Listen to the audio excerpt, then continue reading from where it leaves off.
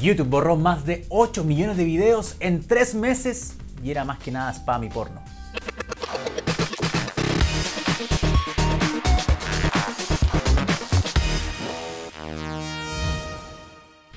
En una clara respuesta a que YouTube reacciona lento frente al contenido indebido, la compañía anunció una expiación gigante de videos. En los últimos tres meses del 2017, YouTube eliminó 8.3 millones de videos.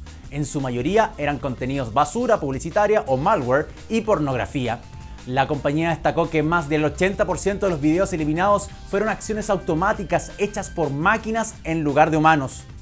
De igual manera, la plataforma indicó que contrataron especialistas de tiempo completo con experiencia en videos de extremismo violento, antiterrorismo y derechos humanos. Otro de los grandes problemas que tiene la plataforma por la alta cantidad de videos violentos que se suben y necesitan filtrar. Finalmente, un dato interesante es que de esos 8.3 millones de videos eliminados, el 76% de estos ni siquiera alcanzaron a ser vistos antes de ser borrados.